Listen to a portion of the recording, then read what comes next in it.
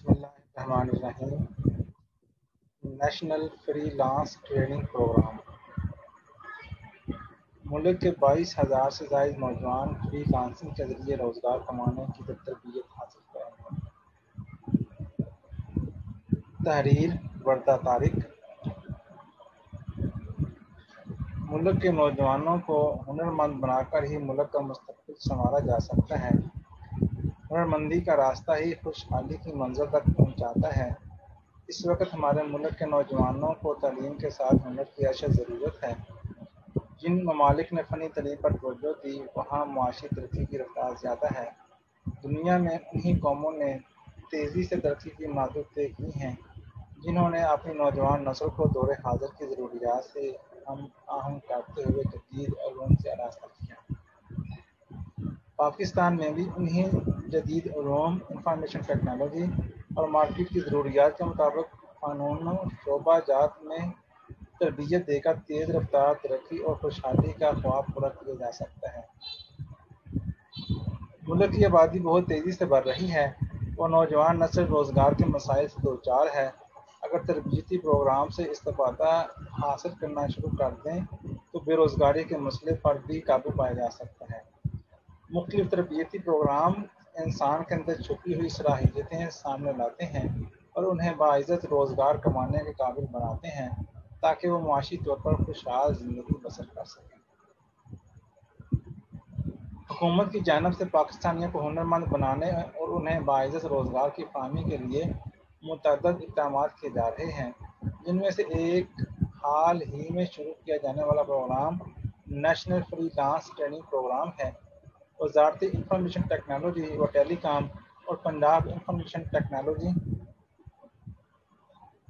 Board के इश्तराक से वजह करदा national freelance training programme के तहत मुल्क भर में नौजवानों को ऑनलाइन रोज़गार फ्राहम करने के लिए मुख्तलिफ़ शोबाजात में तरबियत फ्राहम की जाएगी।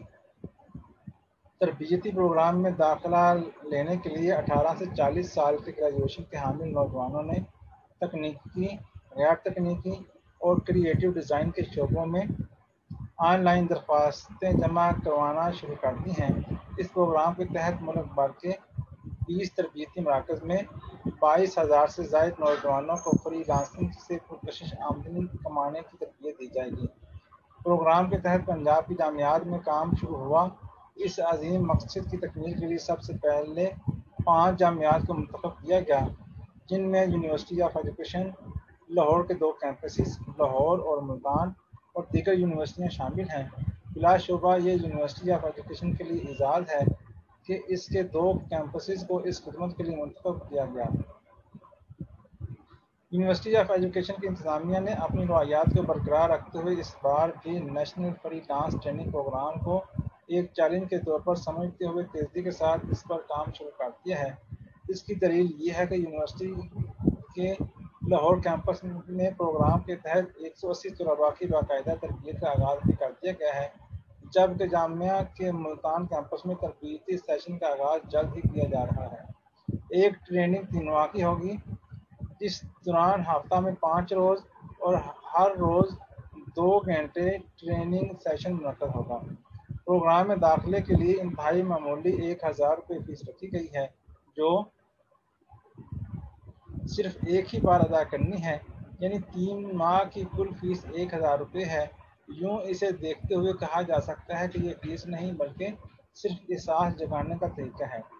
National freelance training programme के हवाले से यूनिवर्सिटी ऑफ़ एजुकेशन के vice chancellor professor doctor Talat Naseer Pasha Sitara Imtiaz का कहना है कि बिलाशुबा ऐसे प्रोग्राम वक़्त की ज़रूरत और पाकिस्तान जैसे ममालिक के लिए नहायत अहमियत के हामिल हैं।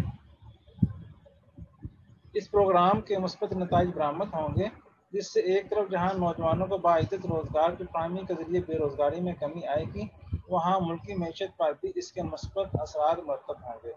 वाइस चांसलर का, का कहना था कि national freelance training programme के ज़रिए हुकूमत पा, पाकिस्तान ने मुल्की मीशत की बेहतरी और रोज़गार के बेहतरीन मौके पैदा करने की एक संजीदा और बेहतरीन कोशिश की है। इसको कामयाबी से हमकरार करने के लिए सिर्फ़ हुकूमत नहीं बल्कि हम सबको मैदान अमल में आना होगा। लिहाजा मैं तमाम नौजवानों खसूस यूनिवर्सिटी तलबा को ये नसीहत करूँगा, वो इस प्रोग्राम में दिलचस्पी का आधार करें, इस प्रोग्राम के तहत खुद को हुनरमंद बनाएँ और एक बाइज़ रोज़गार हासिल करें। नौजवान मुल्क का मुस्तकबिल होते हैं और किसी भी कौम में नौजवानों को कौम का कीमती सरमाया समझा जाता है। ये दिमागी व जिसमानी लिहाज से बाकी उम्र के अफराद से ज़्यादा मज़बूत होते हैं। हिम्मत व जज्बा, जहानत कुत और दीगर सलाहियतें इनमें पाई जाती हैं। थैंक यू अल्लाह हाफिज़।